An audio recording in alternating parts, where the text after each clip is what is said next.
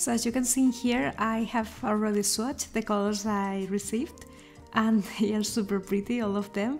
Maybe the ones I didn't like that much are this one, the this one here, the raw milk, because it's a bit murky and the other ones are way too saturated and I don't think they combine. But maybe I can use it for a more dark tone or dark skin so I need to swatch them with other colors that I have. And also here on the side, as you can see, I've got some color combinations from the blog I was following and I will leave the link down below also. And the first one is this one here. I think it's a pretty one, the prettiest one, because uh, they match all together and they look so nice. Even the, the blush, the, the blush color, I bought this one it suits really nicely.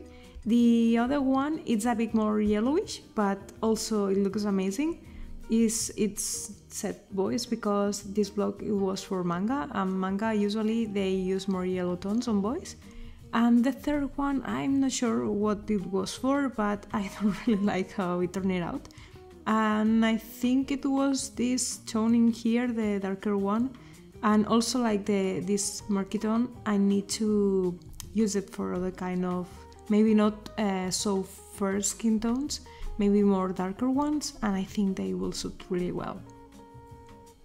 So now I want to keep trying and practicing with these colors and I will show you the results once I have some drawings made.